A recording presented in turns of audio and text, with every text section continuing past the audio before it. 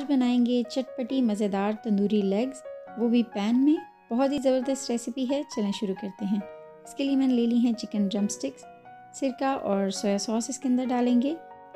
इसके अलावा इसमें जाएँगे कुछ मसाले, जिसमें हैं नमक, सुरख मिर्च का पाउडर हल्दी, सूखा धनिया, तंदूरी मसाला, लहसुन का पाउडर कुटा हुआ ज़ीरा, एक टेबल स्पून बेसन डालेंगे और इन सारे मसालों को अच्छी तरह से इस चिकन के ऊपर लगा देंगे।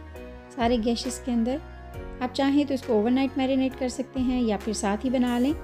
इस तरह से हम इसके अंदर हाफ़ कप पानी डालेंगे और हल्की आँच पे ऊपर से कवर करके पकाएँगे। इतनी देर तक ये बिल्कुल पक जाए। तमाम मसाला ड्रम स्टिक्स के ऊपर लगा के इनको ग्रिल कर लेंगे। गोल्डन ब्राउन हो जाएँ तो ये रेडी हैं।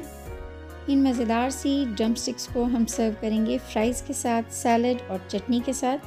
बहुत ही मज़ेदार रेसिपी है। ज़रूर इसको ट्राई करें और मुझे अपना फ़ीडबैक दें कि आपको ये रेसिपी कैसी लगी।